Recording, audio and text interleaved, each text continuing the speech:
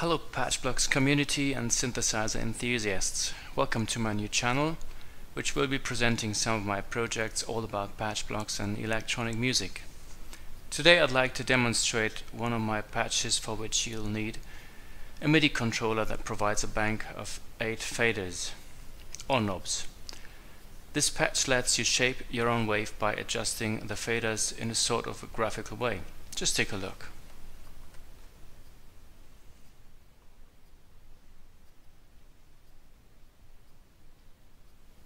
This particular setting would make a sawtooth wave, and indeed does show some resemblance to the real sawtooth, especially in the lower register. Let's try something else.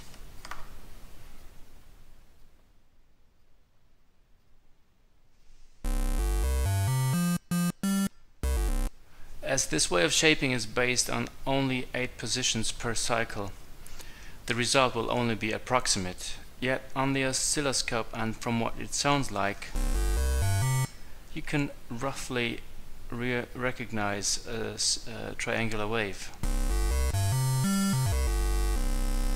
But with a particular new character to it. I like it a lot, others may not. But its strong suit really is everything around pulses and square waves. So let's move on to them.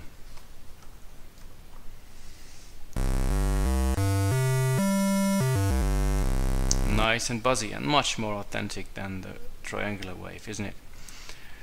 So let's do some pulse width modulation.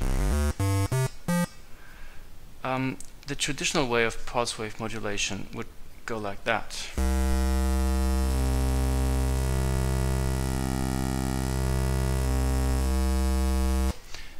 With this patch you can do pulse width modulation in a completely different way.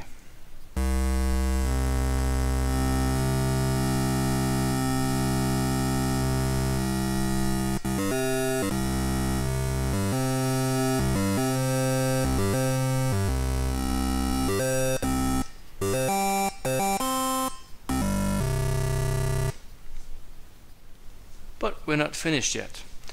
Press the left button to activate random mode. The patch now generates 8 random fader positions.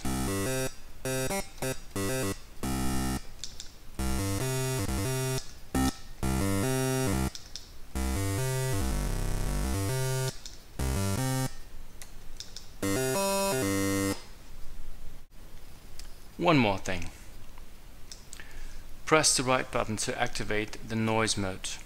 And what it does is, instead of cycling through the positions, it randomly steps in between them, resulting into noise sound, which you can slightly adjust.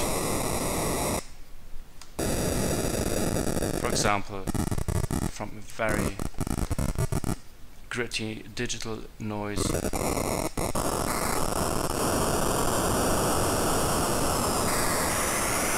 to some sort of white noise. You can even play, well, sort of melodies as the frequencies, frequencies are dependent on the note you play.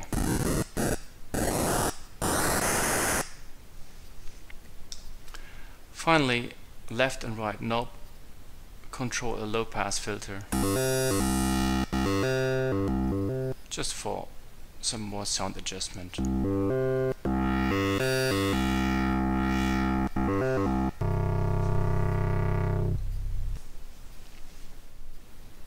I hope you liked this demonstration.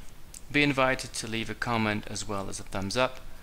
You can download this patch among many others made by many talented people from the Patchblocks community at patchblocks.com.